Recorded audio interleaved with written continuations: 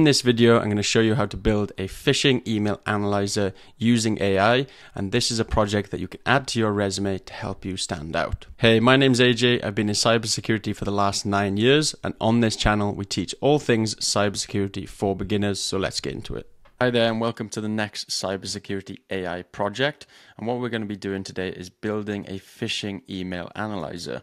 So, how this is going to work then is that we're going to have our phishing email, which is going to be sent to our AI and workflow automation tool. Then, once it's sent to that AI workflow automation tool, it's going to perform some analysis, and we're ultimately going to have some email analysis produced via email that's going to tell us more about this email. So, how we're going to do that then um, and what we'll learn first actually is how to actually use a workflow automation tool to build an email analyzer. Uh, I'm going to show you how to submit an email for analysis so that we can actually analyze it. I'm going to go through and actually read the results. And then we're going to talk through about how you can talk about this in interviews. So to begin with then, what you're going to need is access to Tines, and this is the only tool that we're going to be using during this project. So you're just going to need an account with Tines, which is free. And then what we're going to start with is actually building the email analyzer. So what you want to do then, you want to head over to Tines. Once you're logged in, uh, you should see uh, this page here, and you're going to go to New. Uh, once you've gone into New, then we're going to go down to the bottom left where we've got Story Library, and then in Story Library we're going to type in Receive and analyze oh, this one here. Receive and analyze emails with rules. So if we click on this so we can just see more about this actual workflow. So receive and analyze emails with rules in Sublime Security. So this is saying that we can utilize Sublime Security's rule sets to analyze phishing emails sent to a phishing report inbox um, that can be hosted by Tines and then an analysis report will be sent via email or flagged in Sublime um, and it'll pr- produce some results. So if you imagine a company, often they have phishing report mailboxes where employees or clients or customers can send emails to. Now, instead of a cybersecurity analyst or cybersecurity professional going through every single one of those emails, what we can do here is actually automate that so that the clients, the customers, or the employee can send that email directly to this workflow. It'll process the work through the workflow and actually send us a notification. So what we want to do next then is go to import and then you're going to want to select your tenant. So you just click that there and then you will see that this has been imported into Tines. So this is a workflow that's been pre-built, automatically imported now into our Tines tenant. So we're not going to build out the whole workflow um, in this project. So as I mentioned, this one is pre-built, which is one reason that uh, I do like Tines because they do provide these pre-built uh, workflows that can actually uh, help you set up um, automation quite quickly. And this kind of has got some notes here to kind of walk through uh, what it's actually doing. So you provide an email address in the Tines receive action. So that's this one here. Um, so there's an email address in here that we can send. Uh, so as you can see here, this is the email address. So this email address here is where we can send the emails to. And this enables um, us to send an email to this workflow. Um, it's then going to check if it's got an attachment. Um, if there's no attachment, it'll send a notification uh, to say, sorry, we couldn't find the email. Um, if it does have an attachment, so the email needs to be added as an EML file. Uh, so you just need to forward the email as an attachment. If it doesn't find the attachment, it'll just say there was no email. Um, sorry, we couldn't perform the analysis. But if it does find the email, it'll check to make sure that it has the attachment check to make sure that the mailbox ID exists. It'll then send it to Sublime, then, um, which will actually analyze uh, the email for us. It'll review the matches um, and it'll see which rules it's ha- actually triggered on, and then it'll format the message so that it can.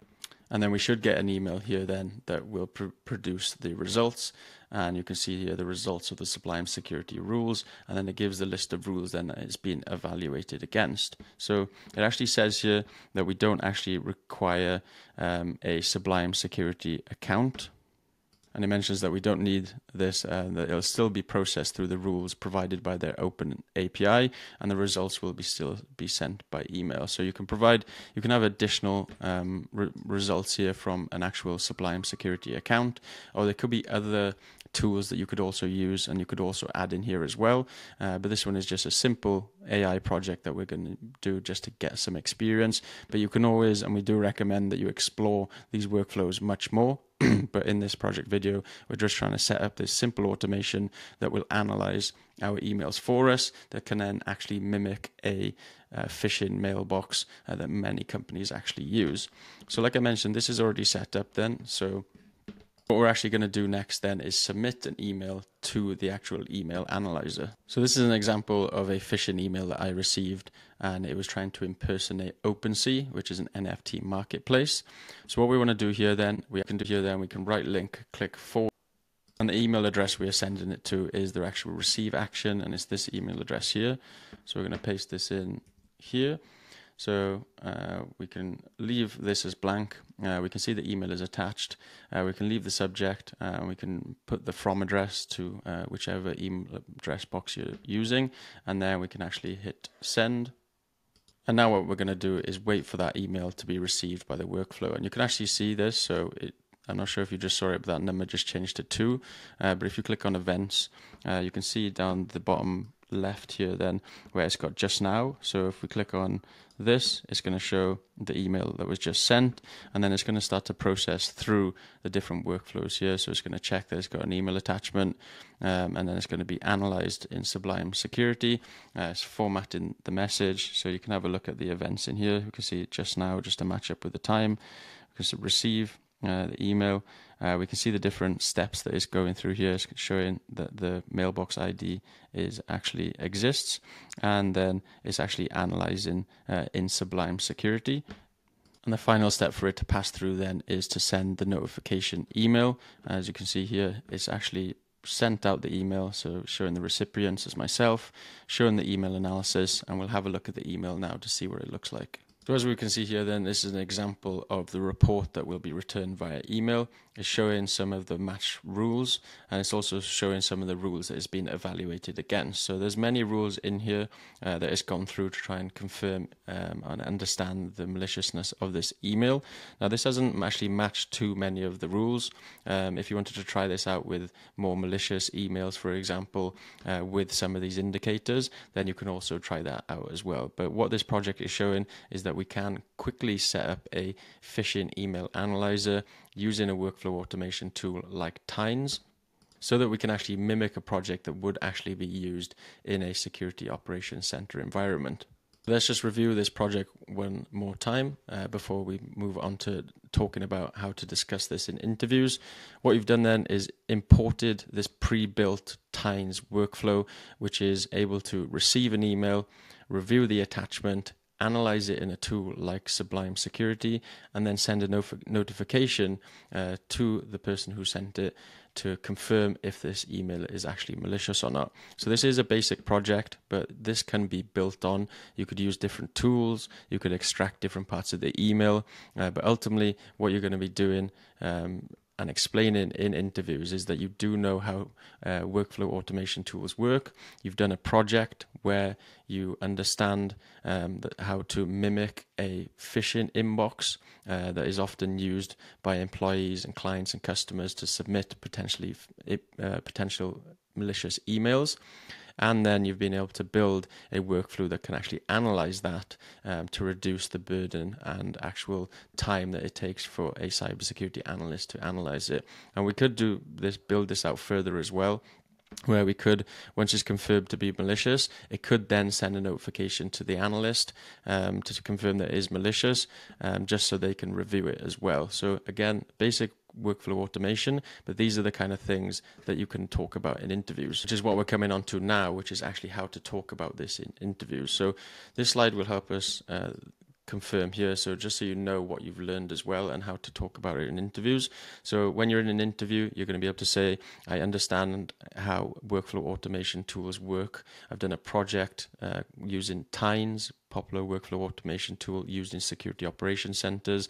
And I've used it to build a basic phishing email analyzer that can actually mimic a phishing mailbox um, that companies use to uh, accept and to review phishing emails. And you can mention that instead of a analyst um, actually performing this manual analysis, you could actually push the email through this email analyzer and have it do the analysis or begin the analysis, and then if it requires further analysis, then send it back and send it over to a cybersecurity professional who can then review it as well. But what this is doing is reducing the overhead requirement for a security operations center um, in an attempt to reduce the amount of time that it's going to take to analyze potential potentially malicious emails.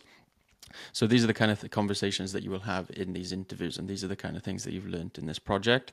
You also understand how to submit an email for analysis. So you saw that we submitted it quite simply to the um, to the uh, receive action workflow um, uh, workflow in the Tines uh, workflow, uh, the re receive action step in the Tines workflow.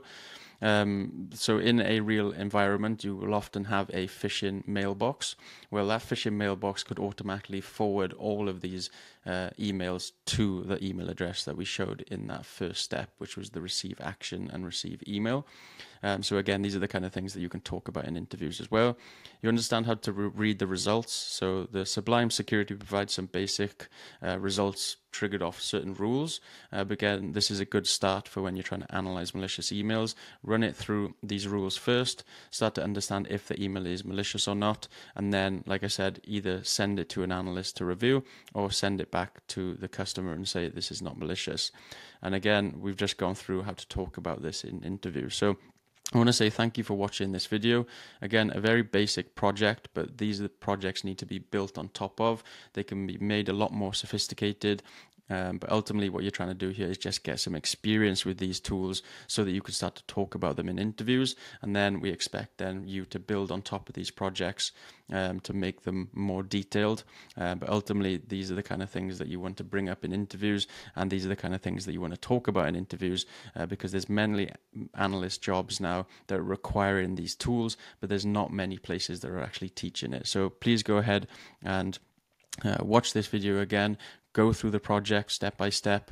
If there's anything that you're struggling with, uh, reach out to me anytime. Uh, you can message me in the community, make a post. Uh, we really do encourage people to post about the projects that they're working on, um, just so others can see what you're doing as well, because it really does help to benefit everyone else in the community if you continue to post in there uh, with maybe there's issues that you're currently having that you need to be resolved. Well, often there's other people having those same issues as well. So thank you for watching this project you now know how to use a workflow automation tool uh, to actually create your own uh, phishing email analyzer. So I want to say thank you for watching. So to conclude then, you now know how to build a phishing email analyzer using a workflow automation tool like Tines.